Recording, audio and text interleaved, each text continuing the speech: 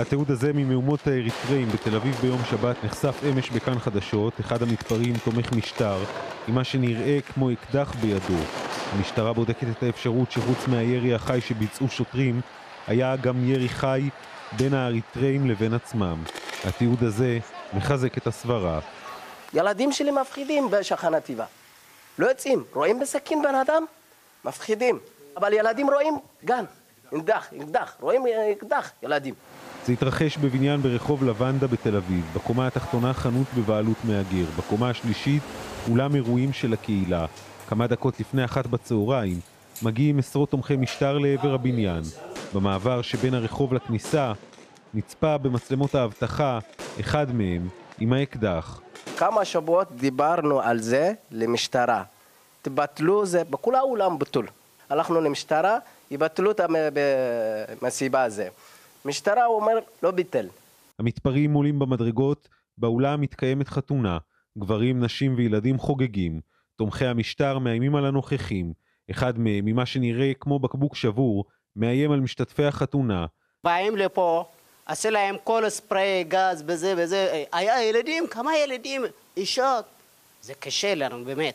קשה לנו. ברגעים הראשונים עוד מתקיים שיח בין הצדדים, ואז תומכי המשטר מתיזים פנימה גז מדמיע. השמחה של החוגגים כבר לא תתחדש. באים לפה עם ברזל, עם סכין, עם... כל בן אדם יש לו שתי סוגים ביד. הכי בלאגן.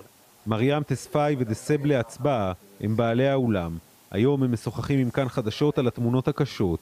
הנה, בן אדם הזכיר עולם, כל האכול שלו, עשו לו ספרי גז. הוא לא, לא יכול לאכולים, ילדים. פלפל גז. על האוכל. הלכו הביתה.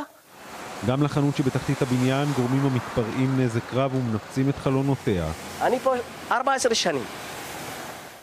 לא היה לי בעיה, פתחתי מקום, עובד, תודה לישראל. שימו לב גם לתמונה הזו, גם כאן נראה לכאורה אחד האריתראים עם אקדח בידו, לא ברור היכן זה צולם. בתי החולים דיווחו בשבת על יותר מ-15 פצועי ירי. אני לא זוכר ממאורעות אוקטובר 2000, סיטואציה שבה שוטרים נאלצו להשתמש בירי חי על מנת אה, לשמור על חייהם, אבל מבחינתי נחצו פה קווים אדומים.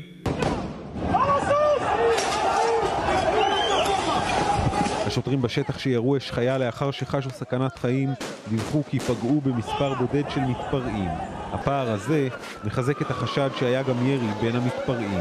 הם כמעט דרסו כל דבר, הם אנשים גם היו עם ממדים גדולים, עם הרבה מאוד כוח, השתמשנו באמצעים שהם אמצעי הפרות סדר, אבל שום דבר לא עצר אותם, עד שהגיעו למצב ששוטרים מסוימים הגיעו למצב של סיכון חיים ונאלצו לבצע ירי חי, דבר שבדרך כלל אנחנו לא נגיע אליו כמעט ברוב המחאות, אלא רק במחאות קיצוניות. הבוקר החלה המשטרה לתשל עובדים בבניין. במקביל, חוקרי המשטרה, שהחלו לעבור על צילומי מאות מצלמות האבטחה מהרחובות הבוערים, מחפשים בהם גם אקדחים.